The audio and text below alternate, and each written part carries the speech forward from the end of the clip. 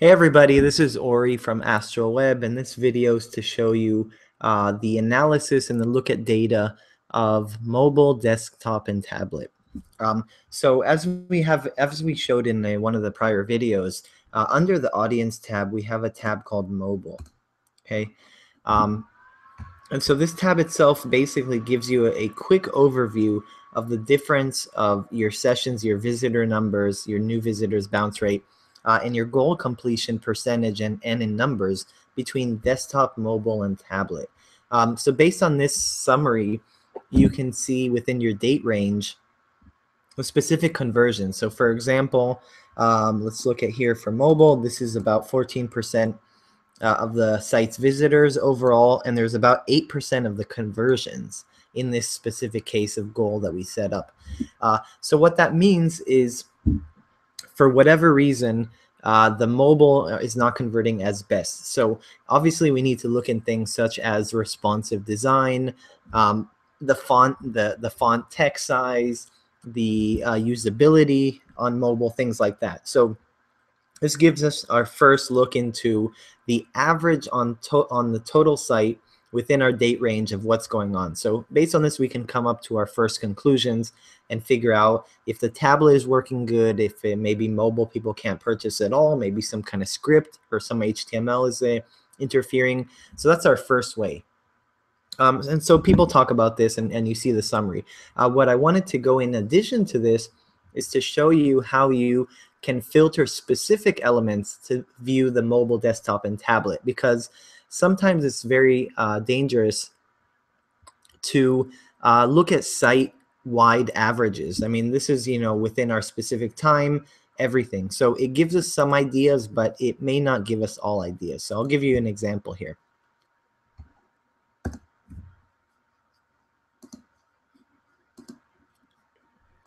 Okay, so what I'm doing here right now is I am going to an example of landing pages, for example, okay? Let's actually go to all pages. Uh, so what I can do is I can look at a specific page or a specific uh, uh, traffic source or things like that. But in this case, I'm just going to look at the simple page.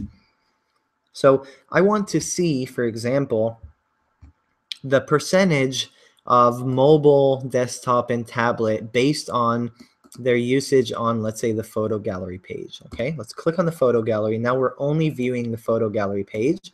And now I'm going to use this secondary dimension, which you can use in almost all other um, left-hand side, you know, navigation and left-hand side a, a points. I'm going to use this and I'm going to type in device. Okay, and I'm going to hit the device category right here. So now, based on this, the view of just this photo gallery page, I can see the data, the bounce rates, uh, the different numbers. So now you can start to, if you start to think about this idea, you can start to see how we can analyze specific pages, maybe popular pages or specific traffic sources or um, other elements, you know, maybe using the site search or things like that based on the desktop, tablet, and mobile. And now you can look at uh, all these other metrics that will help you understand and come up come up with some ideas on how to improve your website. So for example, um, this specific website does not have a responsive version. And so you see that the bounce rate on desktop is very, very different from the bounce rate on, on uh, sorry, on mobile um, or in tablet even more. So what we need to figure out is why is that? How can we improve the user experience and how can we reduce it? And so after we make some changes, if we decide to do so, let's monitor the before and after to figure out if the users are more happy with that, right? Um, so this is a really good thing. You can do it on almost all other pages, right? If I want to do instead of the content, I want to do it on my traffic sources. Let's say I want to look only at Google Organic and not the whole site, right?